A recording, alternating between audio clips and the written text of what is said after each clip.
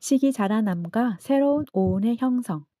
지난 시간에는 식의 증장을 통해 끊임없이 새로운 오온이 구성되는 것을 보여주는 것이 12 연기라는 사실을 얘기해 보았습니다. 오늘부터는 이러한 오온과 12 연기의 관계를 보다 구체적으로 살펴보겠습니다. 12 연기를 바르게 이해하기 위해서는 오온이 식의 증장을 통해 새롭게 구성되는 과정을 확실하게 이해해야 합니다. 오온이 식의 증장을 통해 끊임없이 새로운 모습으로 구성되는 것에 대해 부처님은 잡아함 39경에서 다음과 같은 비유로 설명하고 있습니다. 다섯 가지 종자가 있다. 어떤 것이 다섯 가지 종자인가? 뿌리 종자, 줄기 종자, 가지 종자, 열매 종자, 씨 종자를 말한다.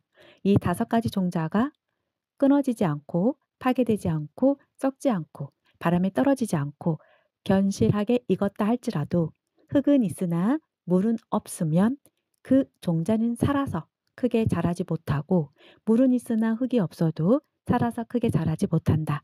그러나 흙이 있고 물이 있으면 그 종자는 살아서 크게 자란다. 비구요. 저 다섯 가지 종자는 자양분을 갖고 있는 식을 비유한 것이고 흙은 사식주를 비유한 것이며 물은 희탐을 비유한 것이다. 식은 네 가지에 머물면서 그것에 반연한다. 어떤 것이 네 가지인가? 식은 색 가운데 머물면서 색을 반환하여 그것을 즐기면서 살아가며 커간다. 식은 수, 상, 행 가운데 머물면서 수, 상, 행을 반연하여 그것을 즐기면서 살아가며 커간다. 이 경에서 다섯 가지 종자는 오온으로 구성될 요인을 의미합니다. 뿌리, 줄기, 가지, 열매, 씨앗은 각각 오온의 색수, 상, 행식을 의미합니다. 그러니까 뿌리 종자는 뿌리가 될 종자, 즉 오온의 색이 될 요인을 의미하고 줄기 종자, 가지 종자, 열매 종자, 씨앗 종자는 각각 오온의 수, 상, 행식이 될 요인을 의미합니다. 이러한 다섯 가지 종자는 개별적으로 존재하고 있는 것이 아니라 하나의 씨앗 종자 속에 함께 들어 있습니다. 오온의 식 속에는 미래의 오온으로 성립될 요인이 종자처럼 들어 있는 것입니다. 예를 들어 벽시 속에는 뿌리가 될 요인, 줄기가 될 요인, 마디가 될 요인, 이삭이 될 요인이 함께 들어 있습니다. 그래서 논에 뿌리면 하나의 벽시에서 뿌리가 나오고 줄기, 마디, 이삭이 나와서 새로운 벽시가 열립니다. 이렇게 새롭게 열린 벽시 속에는 또 뿌리, 줄기, 마디, 이삭이 될 요인이 있게 됩니다.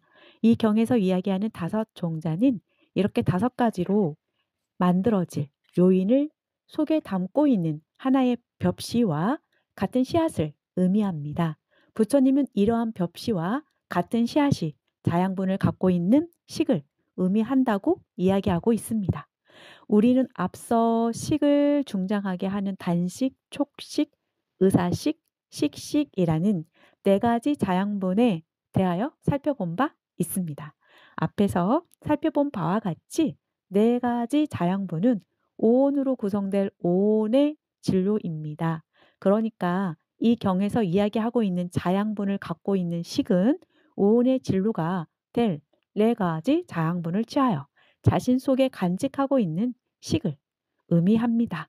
그래서 한역 잡아 함경에서는 치음구식 즉 오온을 취하여 함께 하고 있는 식이라고 되어 있는데 S A M Y U T T A N I K A Y A에는 자양분을 가지고 있는 식 V I N N A N A M S A H A R A M으로 되어 있어서 여기에서는 니카야의 의미로 번역했습니다.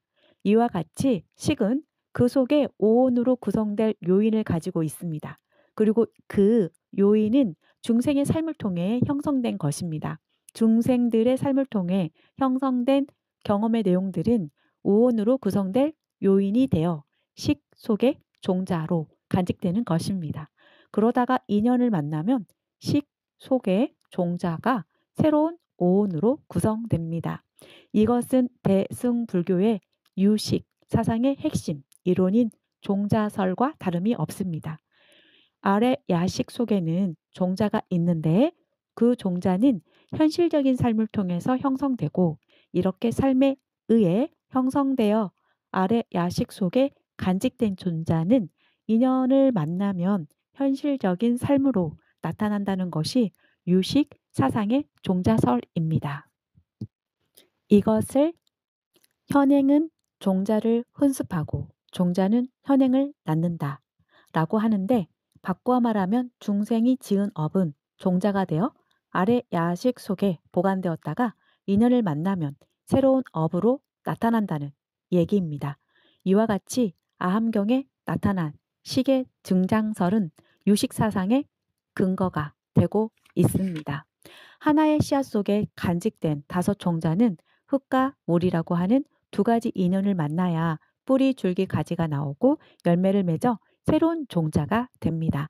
만약 두 가지 인연 가운데 하나만 없어도 종자는 자랄 수 없습니다. 이와 마찬가지로 식 속에 간직된 오온의 종자, 즉 네 가지 자양분은 사식주와 히탐이라는 두 가지 인연을 만나야만 식이라고 하는 씨앗이 자라나서 그 속에 다섯 종자가 오온으로 새롭게 구성된다고 하는 것이 이 경의 내용입니다. 따라서 이제 사식주와 히탐이 무엇을 의미하는지 살펴보지 않을 수가 없는데요. 사식주란 오온 가운데 색 수 상 행 네 가지 온을 의미합니다. 이미 살펴본 바와 같이 식은 무상한 분별심입니다. 따라서 스스로는 사라지지 않고 머물러 있을 수가 없습니다.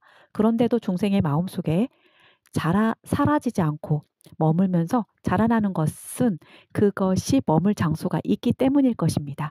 마치 태양의 빛은 스스로 머물 수는 없으나 벽이 있으면 벽에 의지하여 머물듯이 말입니다. 부처님은 오온의 색수상행이 바로 식이 머무는 장소가 된다고 말합니다.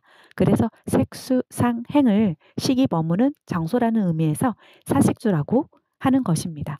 그렇다면 색수상행에 식이 머문다는 것은 무슨 의미일까요? 식은 인식의 대상이 있을 때 나타납니다. 우리의 삶 속에서 인식되는 대상은 무상하게 인연 따라 나타난 것으로 실체가 없습니다.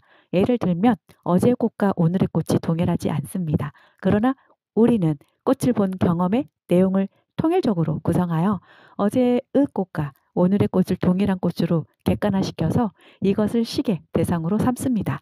어제의 꽃과 오늘의 꽃이 동일하지 않으므로 어제의 꽃을 인식한 의식과 오늘의 꽃을 인식한 의식도 동일한 의식이 아닙니다. 어제 꽃을 인식한 의식은 온 곳이 없고 생겼다가 간 곳이 없이 사라졌습니다. 그리고 오늘 꽃을 인식한 의식은 어제 인식한 의식이 몸속에서 숨어 있다가 나온 것이 아니라 12철을 인연으로 새로 나온 것입니다. 그러나 중생들은 꽃을 동일한 대상이라고 생각하기 때문에 그것을 인식한 의식도 동일하다고 생각합니다. 즉 대상을 인식하는 의식도 통일적으로 구성되어 어제 의식과 오늘의 의식이 동일한 의식으로 존재하되어 객관화합니다.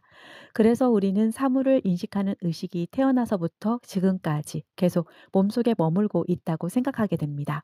하지만 식이 머물고 있는 곳은 우리의 몸속이 아니라 우리가 체험의 내용을 통일적으로 구성하여 존재화 시킨 것입니다. 그러니까 앞에 애에서 본다면 동일한 존재로 구성된 꽃에 의식이 머물고 있는 것입니다. 앞에서 우리는 오온이란 체험의 내용이 통일적으로 구성되어 존재로 객관화된 것임을 살펴본 바 있습니다. 식은 이렇게 존재화된 오온을 대상으로 인식하게 되는데 식은 오온을 동일한 존재로 인식함으로써 동일한 존재로 머물게 됩니다. 그래서 부처님은 색수, 상행을 식이 머무는 곳이라고 말한 것입니다. 씨앗이 땅에 머물면서 뿌리, 가지, 줄기, 열매를 맺고 자라기 때문에 다시 새로운 씨앗이 만들어지듯이 중생들은 오온이라는 존재화된 세계에 머물면서 보고 느끼고 사유하고 유의를 조작하여 살아가기 때문에 새로운 자기 존재의 씨앗인 식이 만들어진다는 것입니다. 씨앗은 땅에 머문다고 해서 뿌리가 나오고 가지나 줄기가 생기지는 않습니다. 땅에 머무는 동안 물이 있어야 씨앗이 자라서 새로운 씨앗이 나옵니다. 이와 마찬가지로 부처님은 우리의 식에 있는 네 가지 자양분, 즉 오온의 요인이 오온으로 구성되기 위해서는 히탐이 있어야 한다고 말합니다. 이제 이 말의 의미를 살펴봅시다. 지난번에 제가 책상을 새로 만드는 비유를 말했었는데 이번에도 그 비유가 적절한 것 같습니다. 책상은 아직 세상에 없고 책과 상만 있다고 합시다. 그러니까 세상은 책과 상으로 되어 있는 것이지요.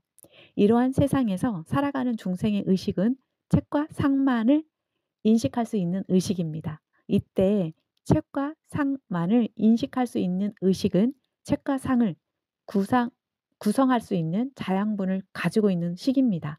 즉, 식 속에는 책과 상만을 분별할 수 있는 분별심이 있기 때문에 책과 상만이 있는 세상에서 책을 보면 책이라고 인식하고 상을 보면 상이라고 인식합니다.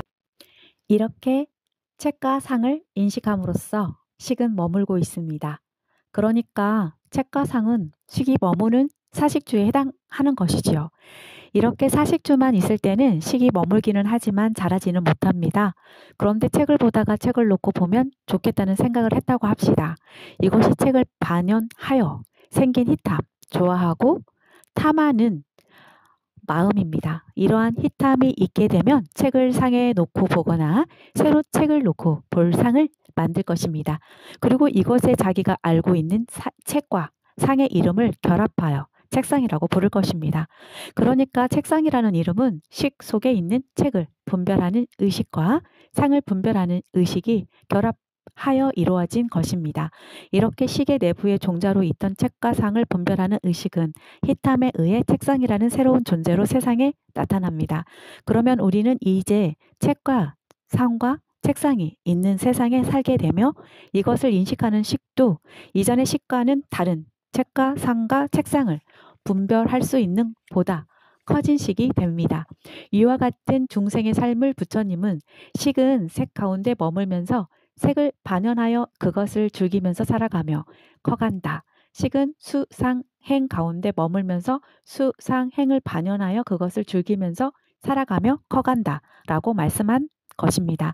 지금까지의 이야기를 요약하면 이렇습니다. 중생들은 삶을 통해 체험된 내용을 통일적으로 구성하여 오온이라는 존재로 객관화 시켜놓고 이것 이렇게 오온으로 존재하던 세계 속에서 식을 인식의 주체, 즉 나의 존재라고 생각하며 살아갑니다.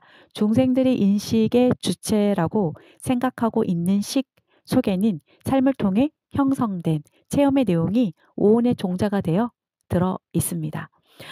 중생의 세계는 이러한 식 속의 종자들이 존재로 객관화된 것입니다. 중생들은 이렇게 객관화된 존재의 세계와 머물면서 인식되는 존재를 반연하여 희탐, 즉 욕구를 일으킵니다. 그러면 그 욕구에 의한 삶을 통해서 체험된 내용은 욕구에 상응하는 새로운 존재로 구성됩니다. 이렇게 새롭게 구성된 존재를 새로운 이름으로 인식함으로써 식은 새로운 모습으로 중장합니다. 식이 새롭게 중장하면 중생의 삶은 새로운 식의 식을 토대로 해서 새롭게 전개가 됩니다. 이것이 중생의 윤회입니다. 식은 오온에서 머물면서 희탐이 있으면 중장하고 식이 중장하면 기존의 오온을 토대로 미래 오온을 구성하고 미래 오온이 구성되면 중장한 식이 다시 이 오온에 머물면서 중장하고 이렇게 식의 중장을 통해 끊임없이 새로운 오온이 구성되고 있는 것입니다. 우리는 보고 느끼고 사유하고 의도하고 인식하면서 살아가는 가운데 인식의 폭이 증가하고 이렇게 폭 넓어진 인식을 토대로 새롭게 보고 느끼고 사유하고 의도하고 인식하면서 살아갑니다. 이와 같은 삶에는 나와 세계가 분별되지 않습니다. 부처님은 이러한 삶을 부정하지는 않습니다. 다만 헛된 욕탐에 의해서 식이 머물면서 중장함으로써 나타난 애곡된 삶을 바로 잡도록 할 뿐입니다. 12 연기는 애곡된 삶을 버리고 진실된 삶을 회복하도록 하기 위하여 오온의 구조로 살아가는 중생의 삶의 모습을 보여준 것입니다. 따라서 12 연기를 바르게 이해해야만 우리는 본래의 삶을 회복할 수 있습니다.